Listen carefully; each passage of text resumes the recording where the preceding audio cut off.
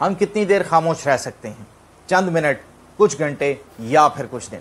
लेकिन दुनिया में एक ऐसा शख्स भी मौजूद है जो अपनी ज़िंदगी के सत्रह साल खामोश रहा और बाईस साल पैदल सफ़र करता रहा। ये शख्स अमरीकी शहरी जॉन फ्रांसिस है, जिसने अपनी कहानी, अपनी किताब planet walker 22 years of walking and 17 years of silence में बयान की है। मैं हूँ आमिर बाबर और आज मैं पहुंचाऊँगा आप तक इस स्याह फॉर्म जॉन फ्रांसिस की कहानी। जॉन फ्रांसिस 1946 में नॉर्थ फिलेडेल्फिया में पैदा हुए। वो एक आम अमेरिकन बच्चे की तरह नॉर्मल ज़िंदगी गुजार कर जवान हुए। जब वो 17 साल के थे तो उनकी ज़िंदगी में एक इनकलाबी तब्दीली आई। 1971 में सैन फ्रांसिस्को के साहिल पर दो ऑयल टैंकर टकराए, जिससे पाँच लाख गैलन तेल निकलकर साहिल पर फैल गया। जॉन को इस वाक्य की जगह देखने का तजस हुआ और वो अपने छोटे से कस्बे से सैन फ्रांसिस्को पहुँचे। और देखा कि पूरी खलीज जहाँ तेल बिखरा हुआ है, वो आलूदा हो चुकी है। और लोग पानी में उतर कर आबी परिंदों को वहाँ से निकाल कर इनकी ज़िंदगी बचा रहे हैं। लोगों को जब ये करते हुए उसने देखा तो उसने सोचा कि उसको भी कुछ ऐसा करना चाहिए जिससे इस दुनिया, इंसानों और माहौल को मदद मिल सके। जॉन ने गौर किया कि तेल की खपत अगर कम हो तो इसको सप्लाई करने वाले टैंकर्स की आमदोरफ्त भी कम हो जाएगी। लिहाजा उसने फैसला किया कि वो आइंदा से कार नहीं चलाएगा। बल्कि पैदल सफ़र करेगा। इससे पूरी दुनिया में कोई बहुत ज़्यादा फ़र्क ना सही, लेकिन उसकी हद तक फ़र्क ज़रूर आएगा। दिलचस्प बात यह है कि सत्तर की दहाई में अमेरिकन कारें बहुत शौक से चलाते थे और तकरीबन हर शख्स एक गाड़ी रखता था। जॉन का ख्याल था कि उसके फैसले से मुतासर होकर कई लोग गाड़ियाँ चलाना तर्क कर देंगे। लेकिन बदकिस्मती से ऐसा ना हुआ। उसने जब लोगों से इस बारे में बात की तो लोग उसे पागल और जुनूनी करार देने लगे। उसे थोड़ी मायूसी हुई, लेकिन वो अपने फैसले पर डटा रहा। उसने घर से दूर सफ़र करना छोड़ दिया। उसने गाड़ी चलाना छोड़ दी और जहाँ वो रहता था, उसने अपनी जरूरियात ज़िंदगी का इंतज़ाम वही करके अपनी ज़िंदगी गुजारनी शुरू कर दी। वो अपनी इस नई आदत से लुत्फ अंदोज होने लग गया। वो इर्द गिर्द के माहौल को बारीक बीनी से देखता, लोग, मौसम चरिंद परिंद बाग और माहौल, वो हर चीज़ से लुत्फ अंदोज हो रहा था। लेकिन इस मरहले पर उसे सोसाइटी की तरफ़ से मनफी रद्द अमल का सामना हुआ। वो उस पर तनकीद करते कि वो ये सब इसलिए कर रहा है ताकि वो दूसरों को बुरा महसूस करवा सके और खुद को बेहतर साबित कर सके। इस किस्म के रद्द अमल पर वो लोगों के साथ बहस करता और अपने फैसले का दिफा करता। लेकिन बहुत जल्द वो इससे भी थक गया। यहाँ तक कि उसकी सत्ताईसवीं साल गिरा आ गई। वो उस दिन आर आर टॉकिन का नॉवेल दी हॉबिट पढ़ रहा था।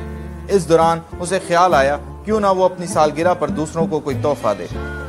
ज़्यादातर लोग सालगिरह पर तोहफा लेना पसंद करते हैं। लेकिन जॉन ने सोचा, क्यों ना वो अपनी सालगिरह पर सोसाइटी को एक तोहफा दे? और वो तोहफा ये था कि वो खामोश रहेगा और खामोश रहकर लोगों की बात सुनेगा। अगली सुबह वो उठा और मुकम्मल खामोश हो गया। वो लोगों को सिर्फ़ सुन रहा था और ये उसके लिए एक दिलचस्प तजर्बा था। क्योंकि इससे पहले उसने लोगों को इतने गौर से नहीं सुना था। जब दूसरे बोल रहे होते थे तो वो दूसरों को जवाब देने के लिए सोच रहा था कि वो ऐसा क्या जवाब दे कि जिससे अगला मुतमिन हो जाए। लेकिन उस दिन उसने किसी को जवाब नहीं देना था, इसलिए वो लोगों को बागौर सुन रहा था, जिससे इसे लोगों के दिली जज्बात और एहसास का इल्म हुआ। जॉन की इस नई एक्टिविटी पर लोग ज़्यादातर खुशगवार हैरत में मुबतला थे। लेकिन उसके करीबी दोस्त ये जानना चाहते थे कि आखिर वो कब तक खामोश रहेगा। पहले हफ़्ते वो इसी सोच में मुबतला रहा कि वो इस फैसले को कैसे डिफेंड करेगा। फिर वो ये सोचता रहा कि वो आखिर कब तक यूँ खामोश रहेगा। फिर उसने फैसला किया कि वो एक साल तक नहीं बोलेगा। जॉन की कहानी को आगे बढ़ाने से पहले मैं आपसे गुजारिश करूँगा कि अगर आपको दिलचस्प वाकयात, लोग और तारीख पसंद है तो इस चैनल को ज़रूर सब्सक्राइब करें। इसी तरह की मालूम मैं आपसे शेयर करता रहूँगा। जॉन एक साल तक खामोश रहा। उसके बाद वो एक नई मुहिम पर चल निकला। उसने पैदल पूरे अमेरिका को देखने का फैसला किया। उसने अपना बैकपैक साथ रखा और मुख्तलिफ़ शहरों, कस्बों और देहातों की सैर करता हुआ आगे बढ़ता चला गया।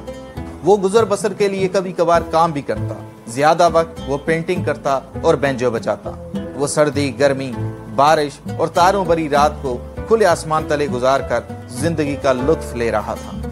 उसने एक किस्म की इशारों की जबान ईजाद कर ली थी। वो इन इशारों को इस्तेमाल करके अपनी ज़िंदगी गुजार रहा था। उसने मजीद एक साल और खामोश रहने का फैसला किया और ये खामोशी बढ़ती बढ़ती सत्रह साल पर मुहित हो गई। इसी तरह ज़िंदगी में आगे बढ़ते हुए उसने आला तालीम हासिल करने का इरादा कर लिया और वो सदरन ऑरिगॉन यूनिवर्सिटी पहुँच गया। उसने वहाँ अपनी इशारती ज़ुबान में रजिस्ट्रार से कहा कि वो पढ़ना चाहता है। उसने रोडन के मशहूर मुजस्मे दी थिंकर की तरह सर झुकाया और हाथों को किताब की तरह खोलकर पढ़ने की तरफ़ इशारा किया। और वो दाखला लेने में कामयाब हो गया। उसने यहाँ से बैचलर्स और यूनिवर्सिटी ऑफ़ मोन्टाना से इन्वायरमेंटल स्टडीज़ में मास्टर्स की डिग्री हासिल की। उसने ये डिग्री स्टूडेंट लोन लेकर हासिल की। जॉन ने इसके बाद यूनिवर्सिटी ऑफ़ विस्कॉन्सन से लैंड रिसोर्सेज में पीएचडी मुकम्मल किया। उसके बाद उस पर कामयाबी और शोहरत के दरवाजे खुल गए। उसे अकवाम मुतहदा ने माहौलियात का अपना सफ़ीर मुकर किया। तकरीबन सत्रह साल गुजरने के बाद उसे महसूस हुआ कि अब उसके पास कहने को बहुत कुछ है, जिसे दुनिया को बताना चाहिए। उसके बाद उसने अपनी मशहूर किताब planet walker 22 years of walking 17 years of silence लिखी। आज छिहत्तर साल जॉन फ्रांसिस पूरी दुनिया में माहौलियात पर लेक्चर्स देते हैं और इस दुनिया में, इस ज़िंदगी में कुछ मुनफरद करने के लिए मोटिवेशन देते हैं। एक हिपी कैसे पूरी दुनिया के लिए मुतासर कन शख्सियत बन गया, ये हम सब के लिए एक मिसाल है।